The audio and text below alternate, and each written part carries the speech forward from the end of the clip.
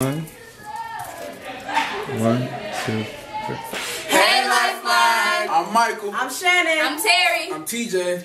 As you all know, the four of us will be traveling to Haiti to spread the love of God. We would like to invite you all to our Haiti send-off concert. June 5th. At 6 p.m. It's going to be dancing, singing, skits, drama, all that. We Hope to see you there. And you better come.